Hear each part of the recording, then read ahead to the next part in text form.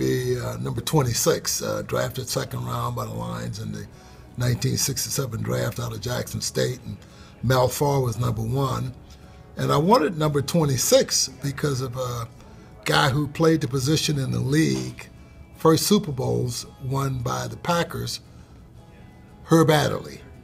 And he was an icon for me. And I mean, I love Vince Lombardi as a coach. And when I got to Detroit my rookie year, I go in the uh, training room where they was giving out jerseys and everything, and I asked the equipment manager, Mr. Roy Macklem, uh, if I could have uh, jersey number 26.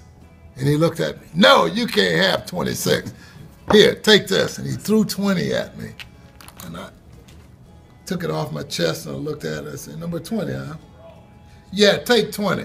I said, I could put some fire in this too. So as a result, I wore 20 for an 11 year period in my 11 year career with the Detroit Lions. And I, I think I put a little smoke in it because two other great guys have worn number 20. And after the uh, third 20 out of Barry Sanders, then Billy Sims and Barry Sanders, they retired the jersey number 20. So it's in the moth now.